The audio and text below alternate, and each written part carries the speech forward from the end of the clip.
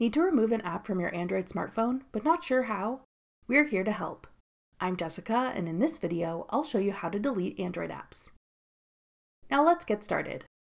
To uninstall an app from your Android device, start by swiping up on your home screen to reveal all of your apps.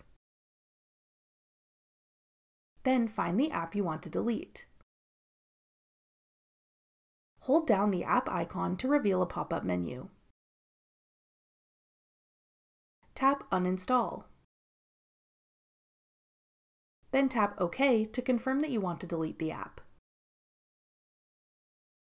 If you select an app that came built into your device, you may not have the option to uninstall.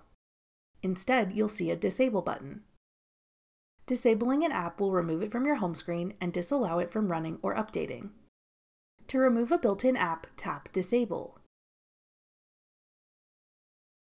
In the menu that appears, tap Disable to confirm.